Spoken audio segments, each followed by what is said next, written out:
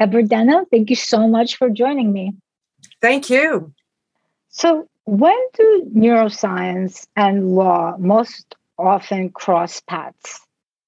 Well, neuroscience and law cross paths in many different ways. You'll see this interlinkage in a number of different fields.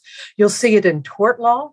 You'll see it in contracts, for example, on whether somebody who's signing a contract has can fully understand or what they're signing. You certainly see it increasingly in elder law, but also FDA laws such as neurotechnology and artificial intelligence. It really has a huge span. But the, the most significant use is in the criminal law, and it reverberates out. The findings in criminal law reverberate out to different kinds of fields. And the reason for that is so many uh, individuals who are convicted of crimes have brain injuries or some kind of brain problem that invites this kind of neuroscience in to analyze what's happening with their behavior. You have written that, quote, the entire modern criminal justice system is based on an outmoded psychology of mental states. Absolutely.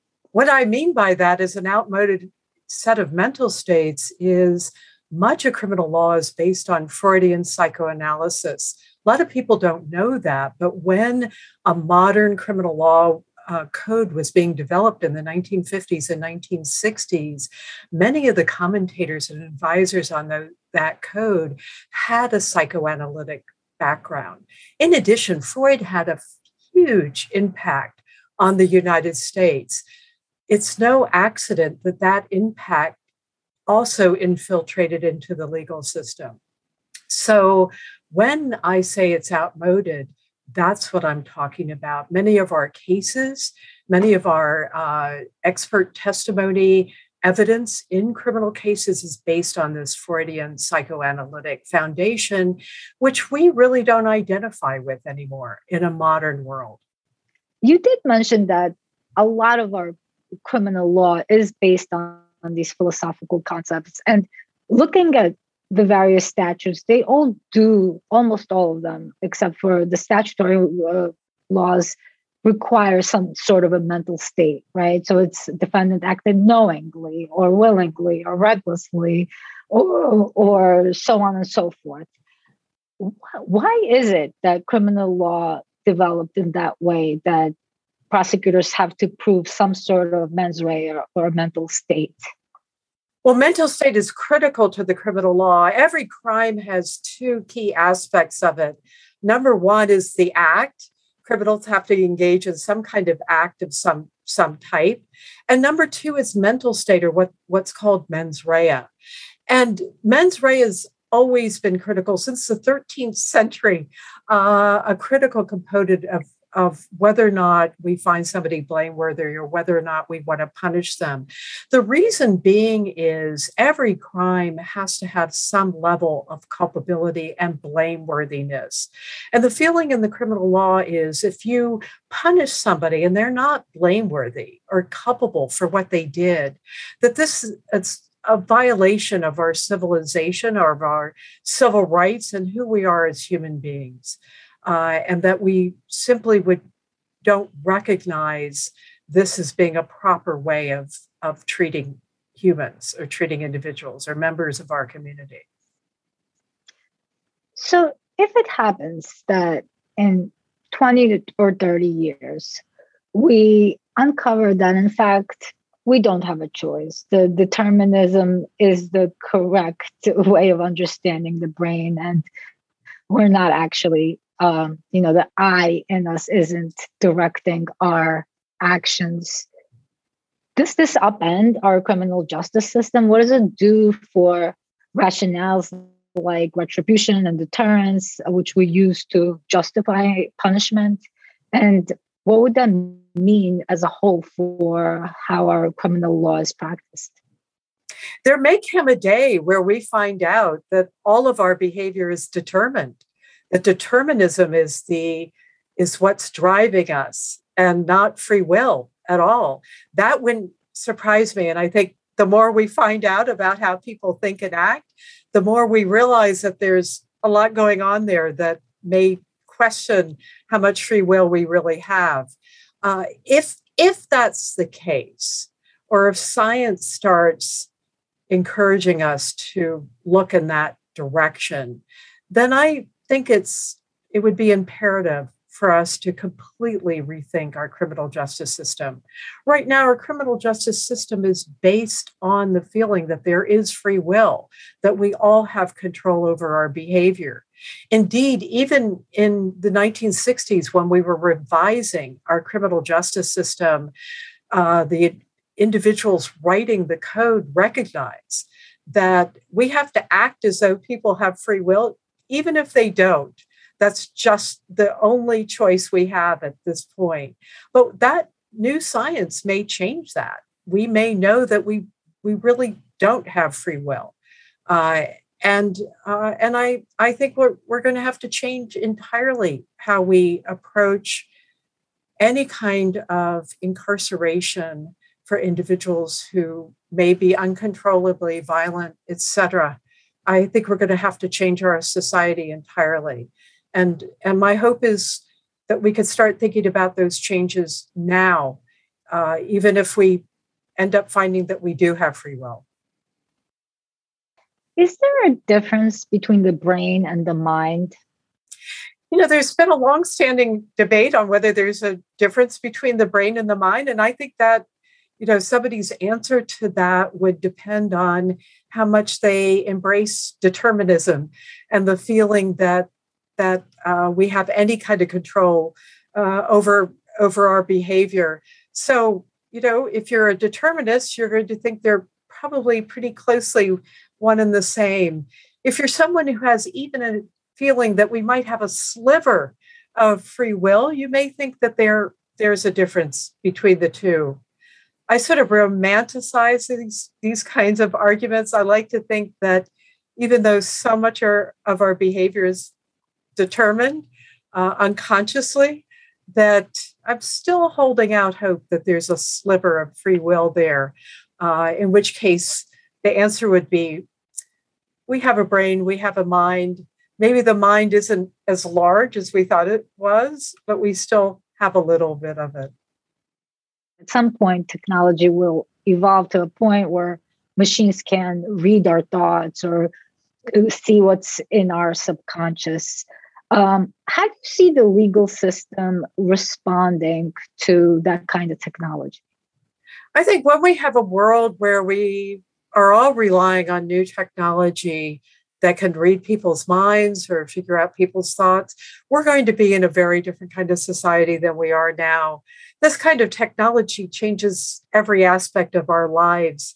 And so our legal system will change accordingly. Uh, and um, it's it's not as though our legal system is going to be in one world and we're going to be in a, a different kind of world that doesn't recognize this technology. It's going to affect our view of criminals and how we're going we think of punishing them.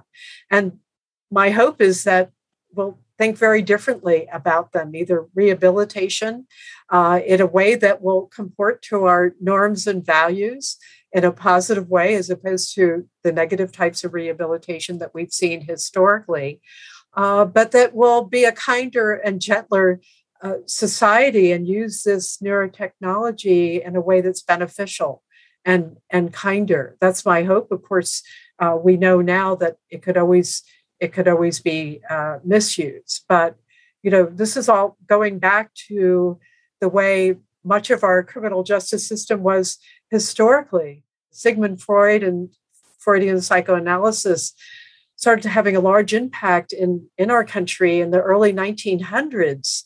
That impact didn't change just our criminal justice system, it changed our entire society and how we all viewed the world and how we all viewed mental states. So I imagine that any kind of new technology and neurotechnology will do the same thing.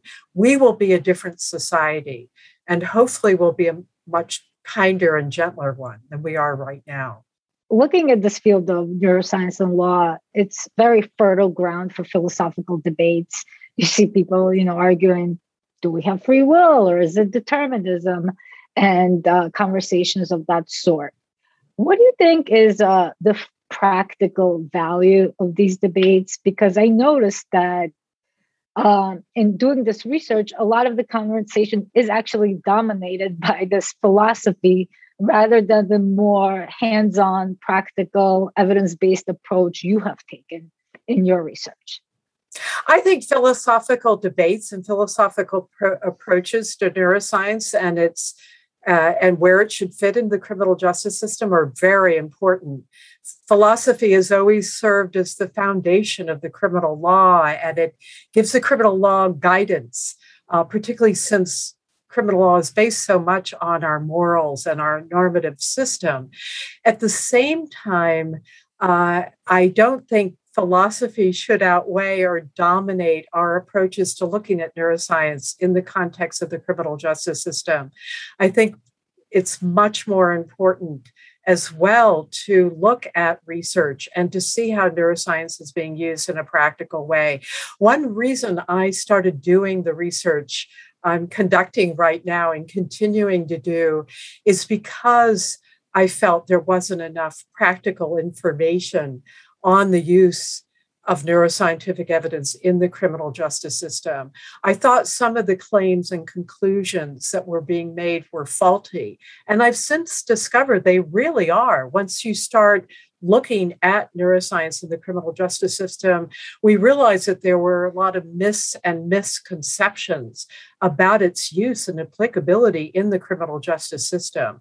So I would like to think that we still need this philosophical and moral foundation, but at the same time, we need much more research to investigate how neuroscientific evidence is being used in the criminal justice system and how it can improve uh, where we're going, particularly in the area of um, incapacitation, uh, how prisons are operating, and how we punish individuals. When courts do admit neuroscience evidence, uh, when does it most often happen? What's the context? Yeah, in the criminal law, neuroscience evidence is admitted in criminal cases in about three major ways. Number one, is uh, can be admitted at the guilt phase, in other, in other words, to determine whether or not a defendant is guilty or innocent. In other words, whether they are privy to the insanity defense or diminished capacity. In other words, whether we're going to convict them of a crime. The second major way is at the sentencing phase. So, uh, and and this occurs a lot in death penalty cases. So, when you're trying to evaluate whether or not uh, say a jury is going to sentence a defendant to death or not. Neuroscience evidence comes in in a major way to explain why the defendant did what they did and why we may want to sympathize with them or better understand the reasons for their extreme violence or something to that effect. So, a third way it enters the criminal justice system, which I found in my research, is it's used by prosecutors to um, to measure the degree of injury that a victim might ex- have experienced, and and these kinds of cases predominantly are shaken baby cases. So, if you want to determine, for example, whether or not uh, an infant suffered from shaken baby syndrome, you would look at that infant's brain. And the major way you would do that is by looking at neuroimaging or MRIs or some other kind of technology to measure that. You have written that when prosecutors submit evidence on the shaken baby syndrome, they are, quote, permitted to concoct intent out of brain scans that were admitted for the sole purpose of presenting the victim's injury. So, how is it that judges allow for prosecutors to sort of expand the scope uh, for, for the evidence when it's uh, entered for one purpose? Okay, shaken baby syndrome is extremely controversial because prosecutors do rely on brain scan evidence to assess the nature and degree of a of whether shaken baby syndrome occurred at all and the extent of the injury. The reason it's so controversial is prosecutors will use that injury to argue that a defendant intended to shake or injure a child. And in some many of these cases, a child's actually killed, so uh, or murdered. So the prosecutor will look at the injury and explain the defendant's mental state based on that injury, and that's several steps away from how we usually look at intent in the criminal law. Usually, you look at the defendant's mental state and whether they were suffering from some kind of trauma or brain injury.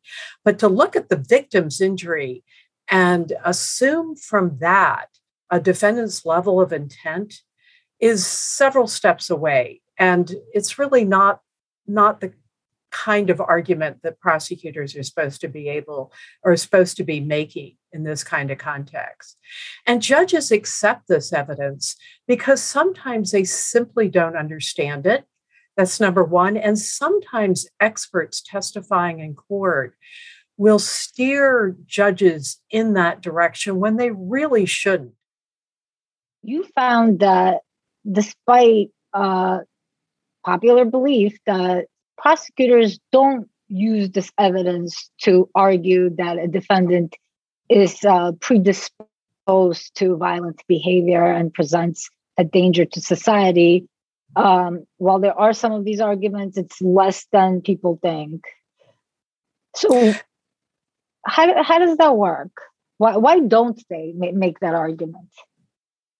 So, it, you know, a major reason initially uh, not to introduce neuroscientific evidence in the courtroom was the claim that prosecutors are going to use it at a gross disadvantage to defense to defendants. In other words, they're going to argue that this science shows that the, the defendant's going to be a future danger.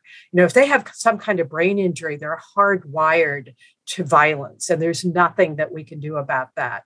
And while prosecutors do make that argument, sometimes they don't make it nearly as enough enough or as much as people had anticipated. And there's several reasons for that. Number one is prosecutors are concerned that this neuroscientific evidence is going to be much more mitigating than aggravating if it's introduced into the courtroom. In other words, they're concerned that this is going to cause juries to be much more sympathetic to the defendant than than aggravating or angry at the defendant. And it's a toss of a coin. You know, it's hard to predict how juries are going to view this evidence, but almost always prosecutors want to get it out of the courtroom. Defense attorneys want to get it in, prosecutors want to get it out. And that's a statement in and of itself. Uh, that, uh, so uh, the, the biggest way that prosecutors use it this evidence that I'm starting to find now, um, now that I've increased my database, is they will make the claim that defendants are malingering. In other words, that defendants are lying ab- about this brain injury or this brain trauma that they have. And there are tests of malingering that can be conducted on defendants that might show that the defendant is lying. So, so that I've seen a huge increase in prosecutors using uh, these malingering tests if, in fact, defense attorneys introduce it in court. What are these malingering tests? How, how do they work? Can you explain the neuroscience behind that? Yes, I mean they um, they're first of all they're uh, malingering tests uh, range in quality and variety. Uh, but basically, the a common test is for a psychologist to question a defendant about, you know, a claim that they're making uh, of some sort about some kind of trauma that they have or some hallucinations that may, they may be having. And it's a series of questions that uh, that may test whether or not a defendant is lying and the way they answer those questions may come up with a test of how whether a defendant is lying. Now, there's a lot of controversy on how good these tests are and how how uh, valid and reliable they are. Nonetheless, it's pretty powerful evidence to introduce that into court, uh, and uh, it, it, particularly if a, a, neuroscientist or some kind of psychologist is able to make the claim that a defendant is lying. That said, uh, you know, a strength of neuroscientific evidence is to show that somebody can't fake an MRI or frontal lobe damage or something that that uh, or a brain tumor or something like that. That great. Usually these malingering tests come in when uh, the the injuries are more subtle uh, and the measurements of them are more subtle we have these findings on neuroplasticity that the environment and our experiences really shapes our brain and I wonder what you think the takeaways are there for how we think about incarceration and how we can re envision how we imprison and jail people. One of the most important contributions that neuroscience has made to the criminal justice system and to the legal system generally is to show us how incredibly ineffective and dangerous and self defeating prisons are. Uh, we already know that prisons are an environment that just make it much worse for individuals who have some kind of brain damage or brain trauma or challenges.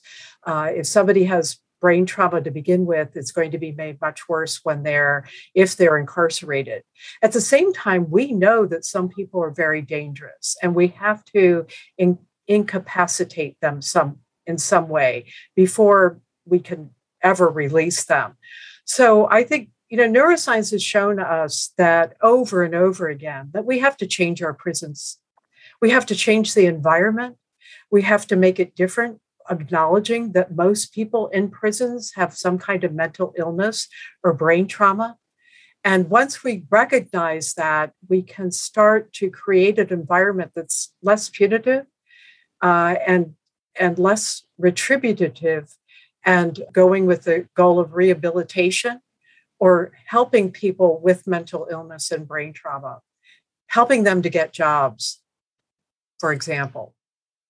Let me give you a hypothetical. Say um, we have brain scan evidence showing that uh, the defendant has a really big tumor in their brain and the expert testifies that this tumor, um, beyond a reasonable doubt, uh, made him lose control over his impulses. So when he shot and killed his boss, who was ta- taunting him, he had uh, no control over that immediate impulse to act out violently. Um, there is also testimony that this uh, tumor can't be removed, and um, the defendant is very likely could have this, these kinds of episodes in the future. So we know that he, in this situation, didn't have control. It wasn't much of a deliberative choice that he made. We also know that he could present danger to society. Um, what should the punishment or the response be in a situation like that? you know, every case involving neuroscientific evidence or any kind of evidence always brings up moral and normative questions that we have to decide as philosophers or members of a community. So, neuroscience can only help us so much in making that kind of determination. So, if if there is a situation where a defendant has a brain tumor and it can't be removed and uh, an expert testifies that that there's uh, some likelihood that this tumor might be affecting the defendant's behavior, then becomes sort of a moral and normative decision that we make. There becomes a point where the science ends, and we as a community or as a civilization has to decide what we want to do with someone. So we could say this person might be a danger in the future it's maybe unclear whether they'll ever be a danger, but there at least there's some likelihood they may be dangerous. And we may want to incarcerate that person because of that likelihood of danger. Uh, number two, we may uh, develop or come up with a situation where we put that person on probation where they have to check in and report to someone regularly and and say how they're feeling medically or whether they're having violent impulses or something something like this. I mean this is the case with uh, some sex offenders for example uh, who may have urges their entire life. And uh, and number three uh, you know, there may be a decision, and there has been in some cases, it could be very controversial, uh, where there could be some kind of med- medical intervention. Say you can't remove the tumor without purportedly uh, killing this person, but there may be other ways of attempting to control their violent impulses by you know, inserting a brain implant or something something like that and we as a society have to decide you know what kinds of decisions we're going to make in these kinds of cases. Uh, we haven't gotten there yet uh, but we certainly will uh, because there's growing evidence that it's just around the corner that we're going to be able to read people's thoughts. There's certainly enough going on there that number two, we're already uh, having scientists insert brain implants for some individuals who are have epileptic seizures, et cetera. So, you know, number three, if we can have some kind of medical intervention for a defendant that could control their potentially illegal behavior, uh, I suppose at some point we're going to have to decide whether this is normatively or morally acceptable. I want to shift to a somewhat related topic, and that's behavioral genetics. When we're talking about evidence, what's what's the difference between neuroscientific evidence and behavioral genetics evidence? Well, neuroscientific evidence and behavioral genetics evidence often overlap. In other words, uh, a lot of the neuroscientific evidence cases that I look at will also have behavioral uh, genetics evidence arguments in them. In my research, I separate the two, though, uh, the, the arguments, because legally, uh, courts treat those arguments very differently. With behavioral genetics evidence, it's, it's a much narrower kind of argument. Typically, in these cases, a defendant's going to claim that based on some kind of genetic condition. In other words, something that they have inherited or received behaviorally across generations or directly from their parents that they act the way they do. Uh, so this has come up in a number of cases. You know, a classic case is the Susan Smith case. It happened some time ago, uh, but this was a woman who made a claim, and it's really uh, that uh, she she drowned her her sons. Uh, she put them in a car and put the car in a lake and they they drowned and and she uh, jumped out of the car right and she jumped out of the car that's right and uh, and blamed somebody else for for doing this but uh, but you know they found out that she was she was actually the person who who engaged in in in the act uh, but her attorney david bruck uh, you know, made a number of arguments on her behalf. What, one of the major arguments that didn't get as much press was that she had a family history of very uh, serious depression. Her father had depression, her grandparents had depression, etc. Uh, in many of these de- really highly publicized death penalty cases, attorneys will come in and go back to sometimes the 1800s in terms of a family tree and uh, to see the lineage of any kind of passage of some kind of uh, attribute that may be genetic. That could include depression, mental illness, alcoholism, uh, you name it, that might have heightened the li- likelihood or the probability that someone would engage in a very kind of a very violent kind of behavior relative to other kinds of people. So, um, so, so this is going to be different from neuroscientific evidence, which is much more present oriented and based on on that particular uh, defendant and their brain makeup or something like this. Here, you're going past back generations uh, to to make that kind of claim. These kinds of arguments can be very effective in court uh, because the uh, judges often will say, uh, Why did you, Susan Smith, engage in this act, but many other people in your exact same situation didn't? Or your siblings aren't violent, or something like that. In which case, these kinds of genetic arguments can overcome that kind of questioning, either from a judge or uh, from a prosecutor. If you could answer any question at all uh, within your lifetime, what would it be? One of the last remaining mysteries, uh, something that we haven't figured out is uh, how to measure consciousness. And, you know, human consciousness. Uh, and scientists have long tried to measure it, and scientists from every conceivable field. And they still don't get it. Uh, what makes us consciously aware of what we're doing? And so I'd love it if we could measure that. And someday we will, uh, but we haven't yet. Deborah Denno, thank you so much for joining me on Office Hours. Okay, thank you, Tamara.